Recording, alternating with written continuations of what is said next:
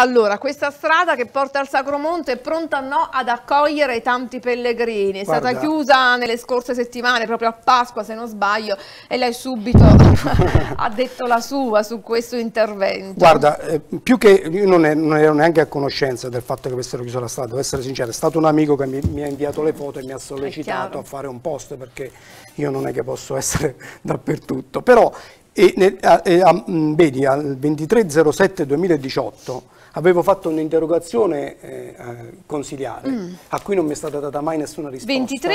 23 Luglio. luglio, 2018, Ok, nel- proprio per chiedere la messa in sicurezza di quel tratto di strada Scusi. ma non ho ricevuto alcuna risposta in merito.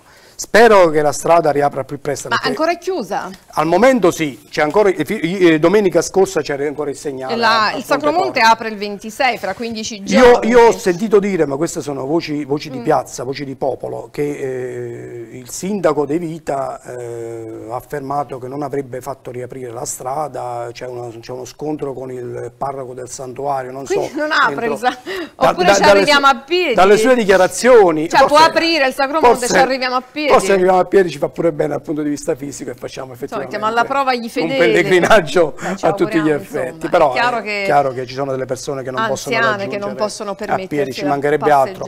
Il santuario deve essere riaperto e bisogna fare di tutto per riaprirlo al più presto. Ascolteremo pure Don, Carmine allora. Io- no, secondo me tu, oltre Don Carmine dobbiamo ascoltare anche Il sindaco. anche il sindaco De Vito, dobbiamo ascoltare anche tutti gli altri amministratori. Io sono disponibile ad un confronto, se vogliono venire qui da te, anche con un soggetto terzo che dice poi chi ha ragione o chi ha torto anche sugli atti amministrativi che loro predispongono e che noi critichiamo Noi di siamo disponibili, non Se chiudiamo se le porte a nessuno. Io, io sono pronto a tutto, a qualsiasi, a qualsiasi tipo di confronto, non mi sottraggo mai, ci mancherebbe altro. La democrazia è bella per questo, se no altrimenti senza democrazia, senza regole, senza democrazia non si va da nessuna parte.